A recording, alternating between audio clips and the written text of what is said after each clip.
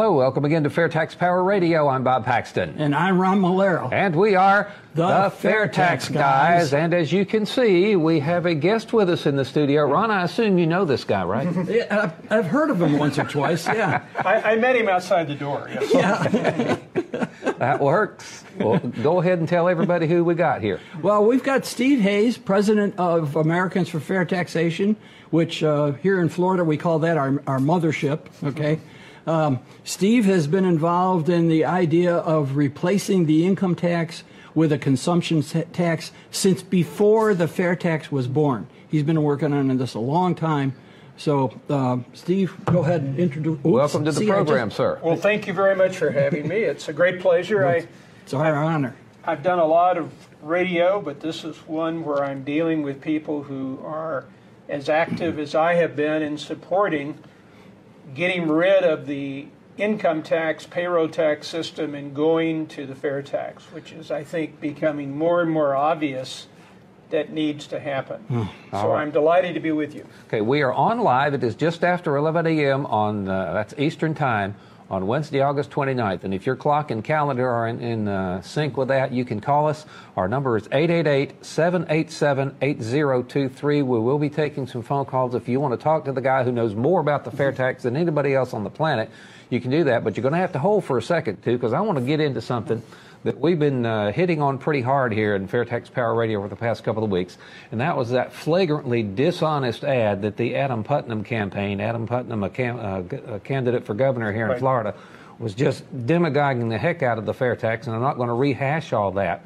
But as a private citizen and not speaking for any organization that I might happen to belong to, I am pleased to report Adam Putnam not only lost, he got clobbered. I mean, 20 points. Right. And uh, of course, a lot of different factors go into the outcome of an election like that.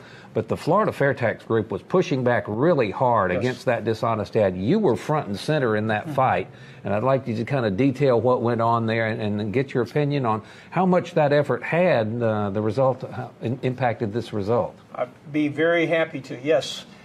What?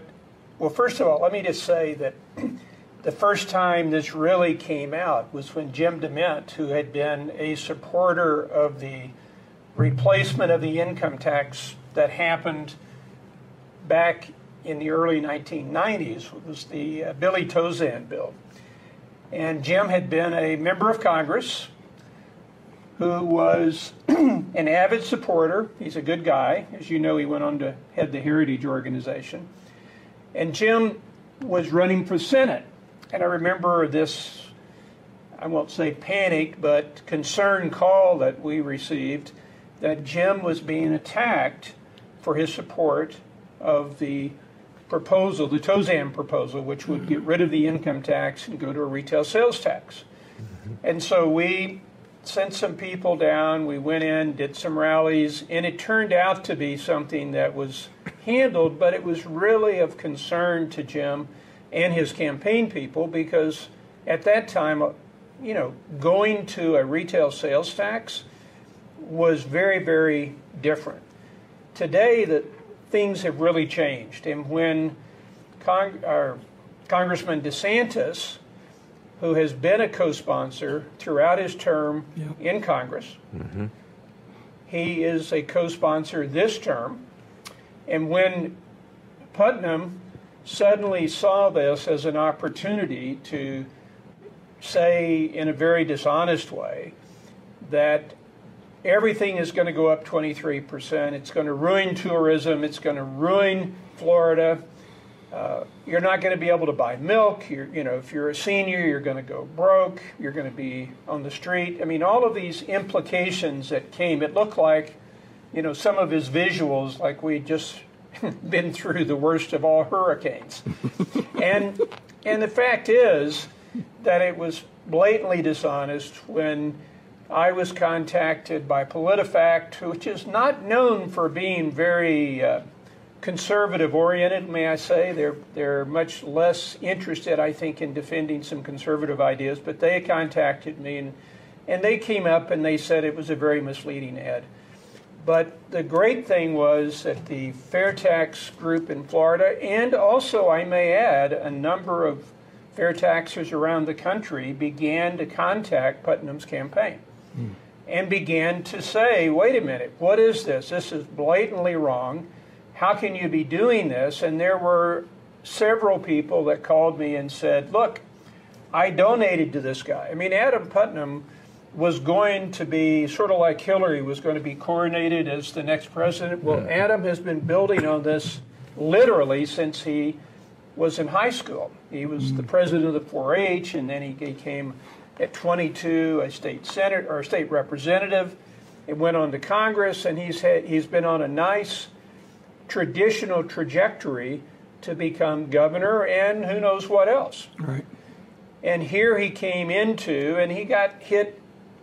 And I think you cannot take away the immense impact of President Trump saying, we don't need any more career politicians. We don't need any more people who are of the Jeb Bush group that believe that we all get along together and we take care of each other. We need someone like Ron DeSantis who's willing to stand up and say what he thinks. And enormous amount of help. I mean, a lot mm-hmm. of the big donors to Mr. Putnam, like he had like a 38 million to 17 million dollar uh, campaign fund lead.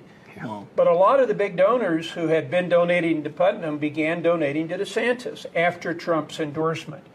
Wow. And what I think the fair tax ad was a direct response. I've got to nail this guy, DeSantis. Mm-hmm. And he came out, and it totally backfired. And as far as how much the 20 point loss can be attributed to the fair tax, hard to say. I've actually read some things where people were saying maybe as much as 10%. Who knows? It might have been 5%, but it was definitely. According to our, our vice president in an email this morning, yep. he, he, he wants to take credit for half of it. yeah, and he may very well be correct because it did two things. One is it exposed Mr. Putnam as someone who was willing to really be a traditional politician yeah. and obscure the facts. In fact, blatantly distort the facts. Mm-hmm. And if you have somebody who does that in one area, you have to kind of assume that they're not going to have a lot of reticence in doing it in another area. Mm-hmm. So I think that it was a big mistake. I think uh, Ed Connor, who Ron was speaking about, said that he really stepped on a rattlesnake. I because, love that analogy. Yeah, because that's really what happened, and it came back to bite him. And then Ed was at a a meeting with Putnam, a campaign meeting, uh, where he was doing trying to do some fundraising, and Putnam said he was going to pull the ad. I went to a meet and greet with the candidate in Largo, mm-hmm. and it was at a barbecue place, and I knew immediately that he had some real problems because there were probably 30 people there and this was from 8 to 10 now. This was like a thing where they were expecting a couple of 100 mm-hmm. 30 mm-hmm. people, of which probably half were part of the campaign. so, you know, you looked at that, and so when I got a chance to speak to him, he was, you know, he's, he's actually a very personal man. He's uh, obviously, to have been as successful as he's been in politics, you've got to be personal. He gave a really positive talk and when I introduced myself and talked to him, I told him who I was with the fair tax. And it, before I could even finish tax, he says, That's been pulled. That's all gone. and I said, Well, that's fine, but if you'd like to really understand it, and I put a pocket card in his shirt and said, You know, here's my business card. You know, contact me and I'll be happy to take you through it and show you why I think you'll, you'll see that not only is it good for Florida, mm-hmm. but it's good for the country. And he was pleasant enough, and then one of his staffers who apparently picked up. He, the, was, he was sent over to rescue yeah, said, uh, you know, Adam, can you come over here? We've got to talk. You need to talk to blah, blah, blah.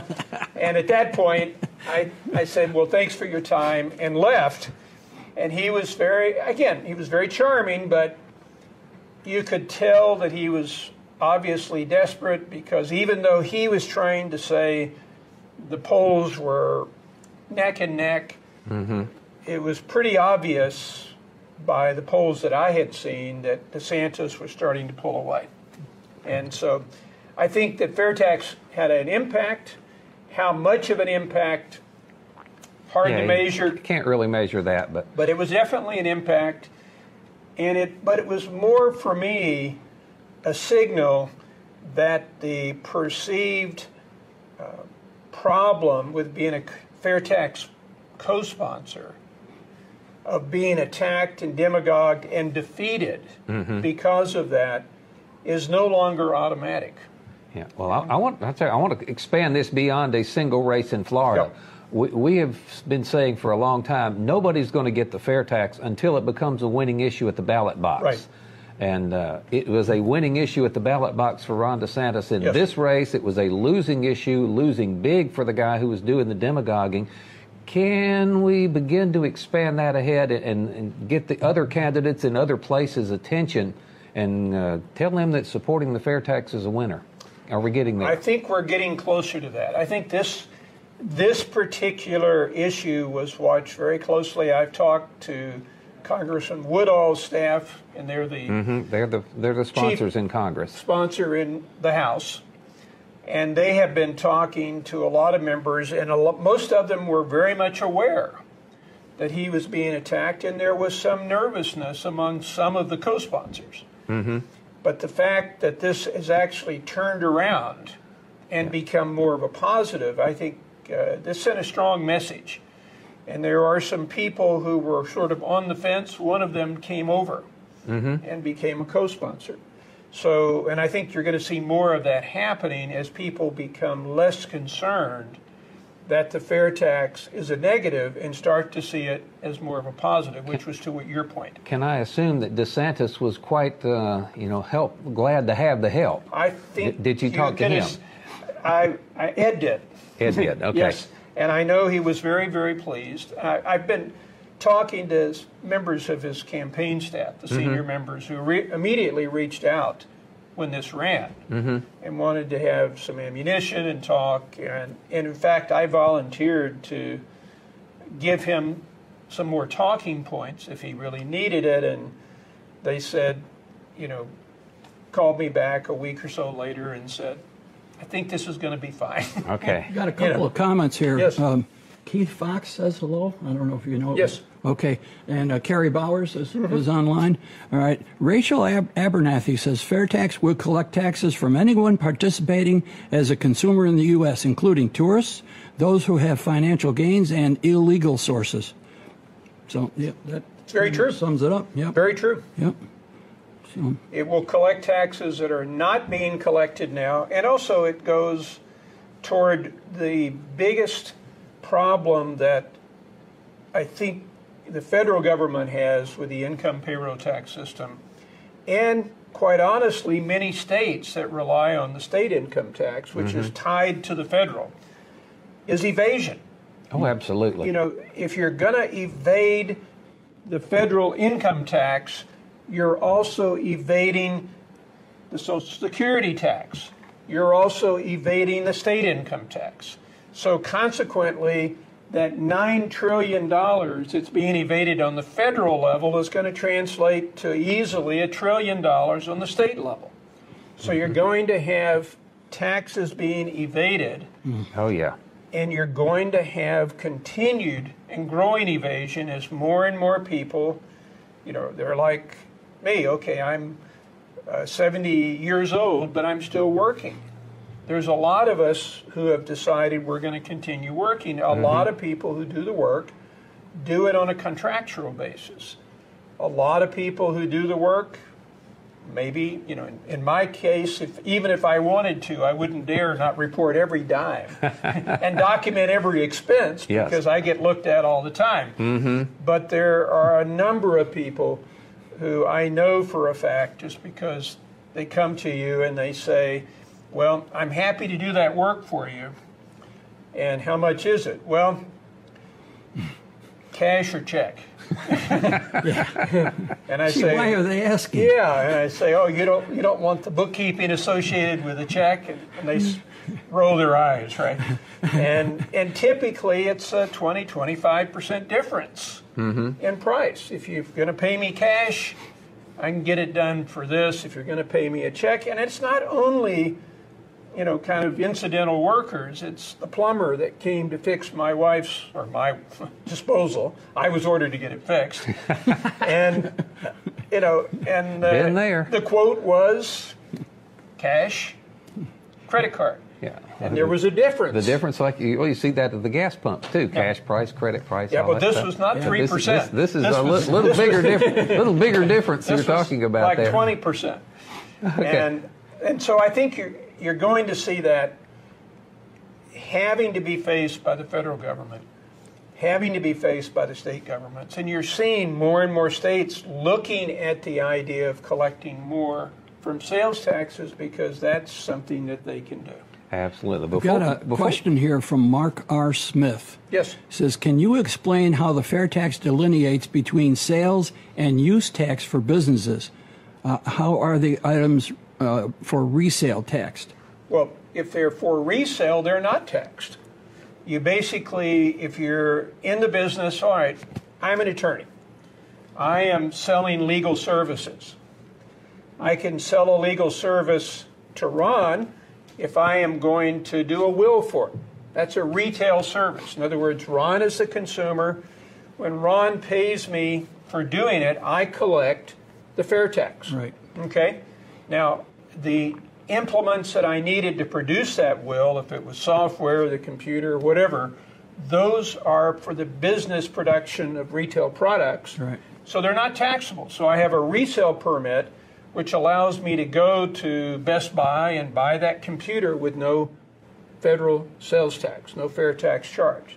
Now, if I'm working for a business, mm-hmm. which is creating cups, Mm-hmm. okay, I am part of their cost of creating the cup. So they provide me a resale exemption, and I don't charge them sales tax. Okay? Now, one of the things that's misunderstood, I think, about the Wayfair decision by the court, which says that states can formulate ways of collecting their tax, their sales tax, or making vendors collect it for online sales, is that in almost every state, you have two forms of tax, as Mark has pointed out. You have a sales tax. So if I go to Walmart, I pay a state sales tax. Mm-hmm. All right. If I go to XYZ online and order something in for my personal consumption, I am supposed to pay a use tax. Hmm. All right. The use tax and the sales tax are the same rate. yeah. So, how many people do you think buy these things online and forget to pay the use tax? Probably Don't even most. think about it. Most of them don't pay it because most of them aren't even aware of it. Unless right, the Bob. website automatically draws So that means that what happens is for certain sizes of vendors, Mm-hmm. you're going to have a requirement that they start collecting the sales tax slash use tax, Yeah. depending on how it's, Okay. And then remitting it. Good. Okay, before we get too off on another thing, let me remind everybody that the uh, what happened here in Florida, the fair tax demagogue got beat really badly. So if you see any dishonest ads demagoguing the fair tax in any races in your area, let us know about it. Either the fairtaxguys at gmail.com, you can send us a link there, you can send it to our Facebook page, but we want to spotlight more than just this one ad that had a nice happy ending here in Florida. Right. And if I'm understanding the voice in my ear correctly, we have a phone call for you, sir. Yes, sir. Dale from Georgia, you're on the air. Go ahead. Okay, thanks, guys. Y'all are doing a great job, and I appreciate everything you do. Thank you. Uh, I just completed an article I was reading about how California was introducing a law that would allow them to deduct their taxes uh, from their federal tax. That way, uh, they could uh, take away the federal tax that they pay to their advantage. But the Trump administration had blocked that uh, act. They uh, cut it back to only ten thousand dollars. Right. And this uh, Yeah. cut uh, deduction would uh, really benefit the rich people, and uh, but they won't be able to do that now because the Trump administration has blocked California from doing that. And uh, I was just thinking about how the fair tax would just take all of that kind of garbage out of the whole tax system and how much simpler it would be with Well- just the fair tax. Yeah, you hit Dale, the key you- word, simpler. Yeah, Dale, you're totally correct. How much do you think, Dale, about the Georgia sales tax? Uh, uh, I don't think about it uh, very often. It's just uh, something that you get used to, That's and right. you know it's there. That's right. And, and the fair tax would become something that you would notice every day because today we've got a large percentage of the population that really aren't involved in the tax game. They don't really pay income tax, or many of them don't even file anymore, or they, or you know, kids and all they don't. But you look at this and you say, everybody in America is a consumer everybody in America is going to see the cost of the federal government on every retail purchase they make. Mm-hmm. And the only decision that they're going to have is because of the fair tax, instead of you, Dale, looking and, well, is this deductible or is this, re- you know, whatever, you're going to say, well, if I go buy a car and I buy a used car, I'm not going to pay the fair tax. So maybe I'm going to go buy a used car and not pay the fair tax. And then your wife says, Dale, if she's like mine, you aren't going to buy the car you want. You're going to buy the car we want, which means she wants. And so, So I'm, I'm not the only one that happens to. I've Been there, done that. so you, we are going to buy a new car. All right, then we're going to pay the fair tax. But that's the decision you make with a fair tax. I mean, that's the extent. It's not all this other thousands of pages of things and everything, you know, is, you know, am I going to put money away for retirement? What's going to happen if it goes to my kids? Are they going to pay tax? At what rate? All that's gone. It's all Yeah. gone. Well, well, what I like is the fact that you make decisions on the merit of the decision and not on the tax results that Yes. you're going to have to be dealing with the rest of your life. Yeah, that- Absolutely. that's how the fair tax was born. Yes. yes.